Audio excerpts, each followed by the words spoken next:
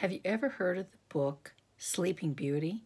This is not it. This is Sleeping Ugly by Jane Yolen. Pictures by Diane Stanley. Ah.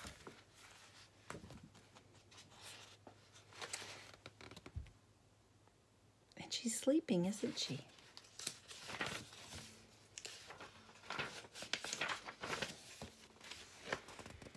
Here we see a beautiful princess.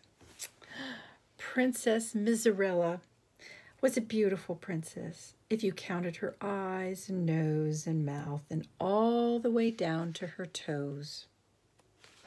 She doesn't look very happy though.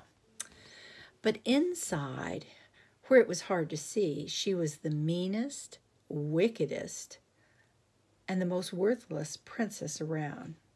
She liked stepping on dogs. Oh, she kicked kittens. Oh, she threw pies in the cook's face, and she never, not even once, said thank you or please. And besides, she told lies. Oh. In that very same kingdom, in the middle of the woods, lived a poor orphan named Plain Jane. She certainly was. Her hair was short and turned down. Her nose was long and turned up. And even if they had been the other way round, she would not have been a great beauty. But she loved animals, and she was always kind to strange old ladies. One day, Princess Miserella rode out of the palace in a huff. A huff is not a kind of carriage, it is a kind of temper tantrum, her usual kind. She rode and rode and rode, looking beautiful as always, even with her hair in tangles. She rode right into the middle of the woods and was soon lost. She got off of her horse and slapped it sharply for losing the way. The horse said nothing, but ran right back home. It had known the way back all the time, but it was not about to tell Miserella.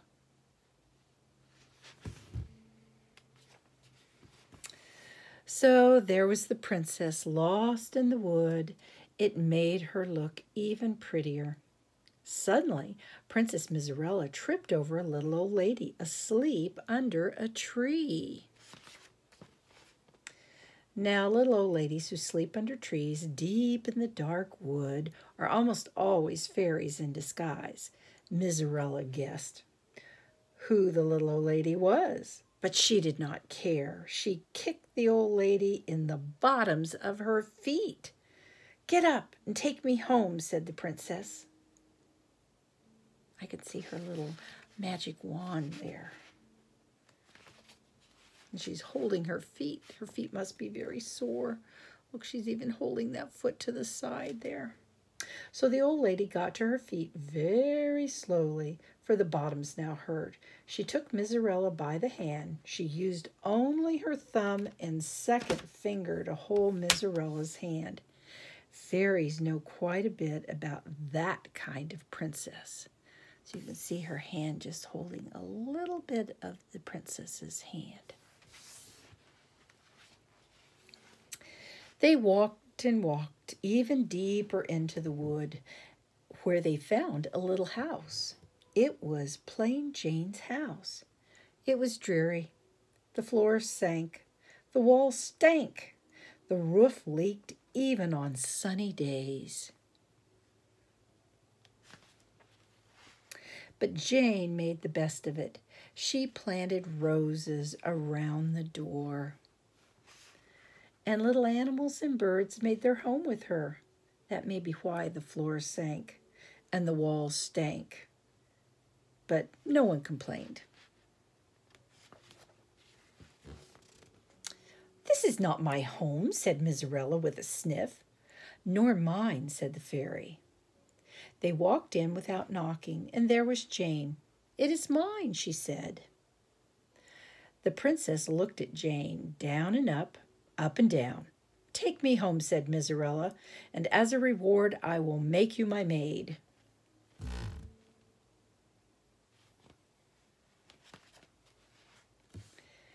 Plain Jane smiled. A thin little smile. It did not improve her looks or the princess's mood. Some reward, said the fairy to herself. Out loud she said, If you could take us, uh, if you could take both of us home, I could probably squeeze out a wish or two. Make it three, said Miserella to the fairy, and I'll get us home. Plain Jane smiled again. The birds began to sing. My home is your home, said Jane. I like your manners, said the fairy. And for that good thought, I'll give you th- the three wishes to you. Princess Miserella was not pleased. She stamped her foot. Do that again, said the fairy, taking a pine wand from her pocket, and I'll turn your foot into stone. And just to be mean, Miserella stamped her foot again. It turned to stone. There it is, all turned into stone.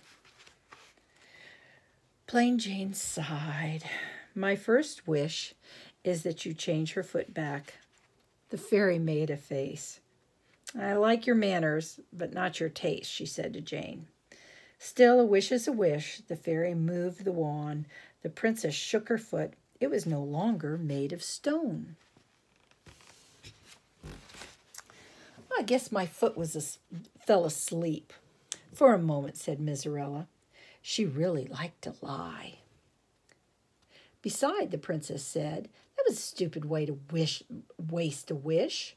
The fairy was angry. Do not call someone stupid unless you have been properly introduced, she said, or are a member of the family. Stupid, stupid, stupid, said Miserella. She hated to be told what to do. Say stupid again, warned the fairy, holding up her wand, and I will make toads come out of your mouth. Stupid! shouted Miserella. As she said it, a great big toad dropped out of her mouth. So, stupid is probably not a good word to say. Cute, said Jane, picking up the toad. And I do like toads, but. But? asked the fairy. Miserella did not open her mouth. Toads were among her least favorite animals. But, said Plain Jane, my second wish is that you get rid of the mouth toads. She's lucky it wasn't a mouth elephant's, mumbled the fairy. She waved the, the pine wand. Miserella opened her mouth slowly. Nothing came out but her tongue. She pointed it at the fairy. She is sticking her tongue out. Princess Miserella looked miserable. That made her look beautiful, too. I definitely have had enough, she said. I want to go home. She grabbed Plain Jane's arm. Gently, gently, said the old fairy, shaking her head. If you are not gentle with magic, none of us will, will go anywhere. You can go where you want, said Miserella, but there is only one place I want to go. To sleep, said the fairy, who was now much too mad to remember to be gentle. She waved her wand so hard she hit the wall of Jane's house. My, the wall broke. The wand broke. The spell broke. And before Jane could make her third wish, all three of them were asleep. You see them sleeping there? They were out.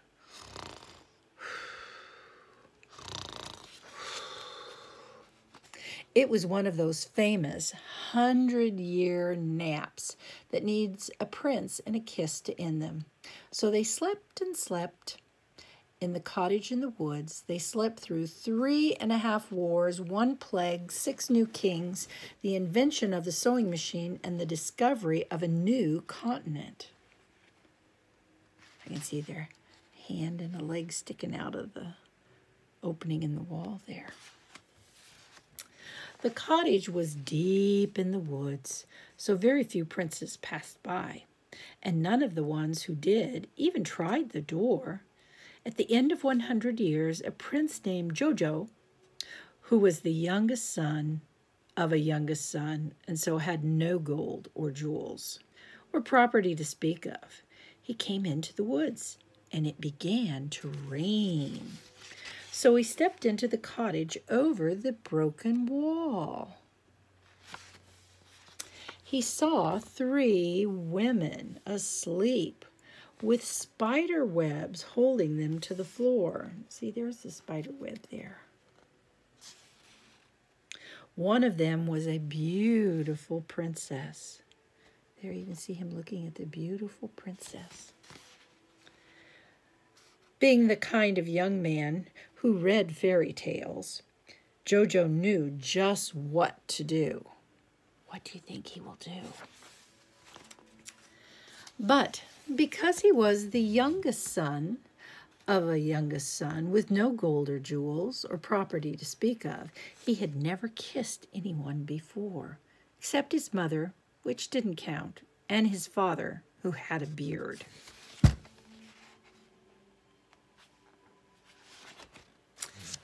Jojo thought he should practice before he tried kissing the princess.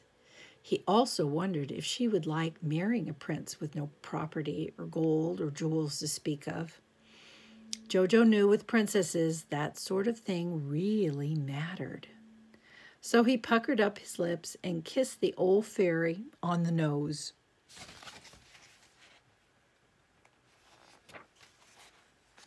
It was quite pleasant. She smelled slightly of cinnamon. He moved on to Jane. He puckered up his lips and kissed her on the mouth. It was delightful. She smelled of wildflowers. Imagine being asleep a hundred years and still smelling like wildflowers. Mm. He moved on to the beautiful princess. Just then, the fairy and plain Jane woke up. Princess Jojo's kisses had worked. The fairy picked up the pieces of her wand. Jane looked at the prince and remembered the kiss, as if it were a dream. I wish he loved me, she said softly to herself. Good wish, said the fairy to herself. She waved the two pieces of the wand gently.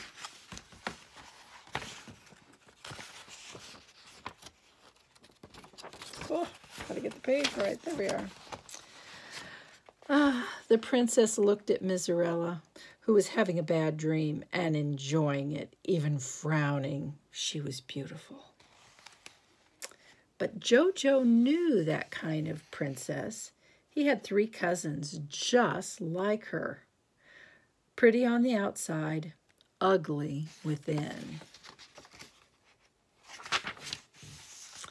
He remembered the smell of wildflowers and turned back to Jane. I love you, he said. What's your name? So they lived happily ever after in Jane's cottage. The prince fixed the roof and the wall and built a house next door for the old fairy. I can see the moon there.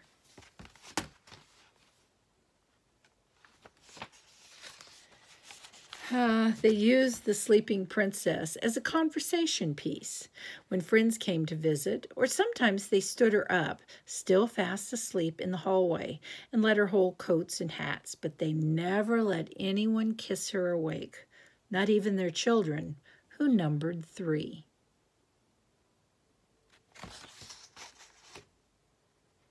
They all look really happy.